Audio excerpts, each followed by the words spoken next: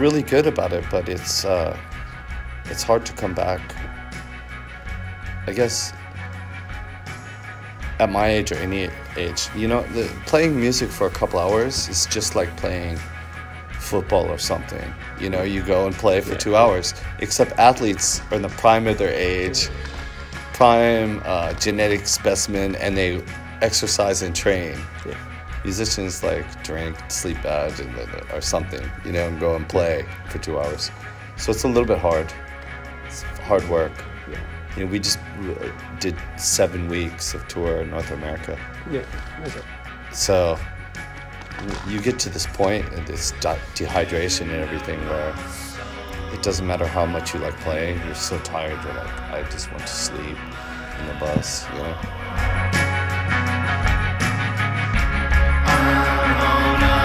I like music.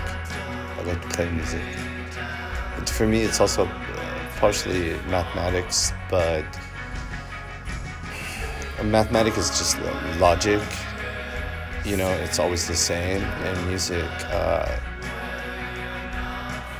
people understand it you know there's the beauty of it but there can be hard mathematics too that are just ugly you know like some people are interested in just abrasive rhythm some noise you know some Yeah. techno repetition there's different elements harmony of the floating spheres and people can only understand that stuff at on certain levels you know it's crazy Yeah. Great. but for me it's like uh, a limitless uh, abstract playground you know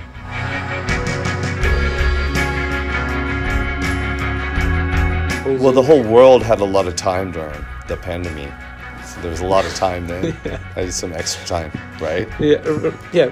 but i own a recording studio so i go there six days a week Okay. pretending that it's a job except i don't care what i do Yeah. it doesn't it doesn't matter if i ever work one day more but i really enjoy to create things for me and the sounds you know Yeah. so i just go everything's set up it's not like a commercial studio with all the mics against the wall or something and all the, everything in its cases everything is like a big mess to be played you know ready to go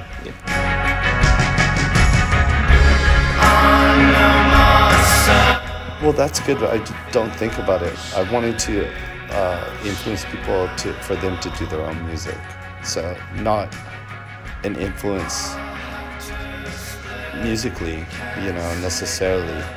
The influence I want to make is that we could, we don't need validation from uh, some corporation or some business to create culture with each other, to create an event to, to make a record, to share ideas, to form bands, and to play concerts, to go camping and play music, just to do things, you know, to go to other countries. We don't need permissions for that, this stuff because it probably won't happen, you know. It probably won't happen.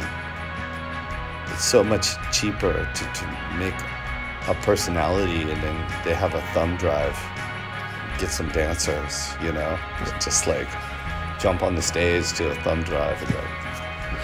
But it's harder to make this other stuff, I think. But that's what I wanted to influence people that they didn't need my permission or my okay or validation, you know. So that's good.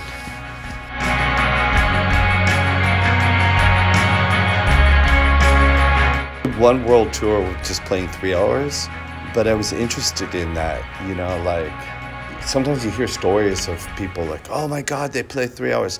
Not like the, the Cure or something. I think The Cure has so many good songs, but then they also have like, once they go to dis- disintegration, they have a good song in this style, and then they can play three hours where you don't even care about those songs. It sounds good, but it's just like the same thing, and we don't do that. We're just like play like songs, you know. They're not they're not the same and I, th- I wanted to do that once, you know, to go everywhere and just present that. But now we just play around two two hours and fifteen or something, just uh, a good amount. Yeah. But I feel like one hour and fifteen minutes is way too short. There's no way I can play something from every era. There's no way I can. I can't. There's no way to do it right in that amount of time. Yeah.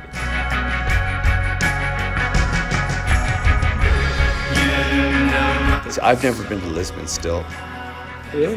crazy, right? but this time we uh, hopefully we'll play and everything goes cool. But I really want to go. My whole life. It's so strange. Yeah, I had, I've I've always had a couple Portuguese friends uh, in California.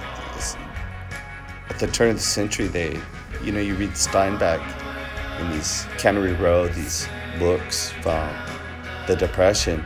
They hired Croatians and Portuguese to fish sardines all the way down the coast, and they were so good at it, there is no more. you know, to feed everybody during the Great Depression. Yeah, yeah. But America got very strange right then, and they made it so only two people can immigrate every year from Portugal Really? to America. They The lottery, Yeah. two people, Yeah. It's unless it's some special thing. Two people. Yeah. Crazy, you know? So the, the people that I knew were like uh, third generation, but tight families, fishing people. Very cool. Maybe we might get lucky and do Brazil next year. Never played there either. Okay. Thank you very much Yeah, for yeah. your time. I hope you really enjoy the show.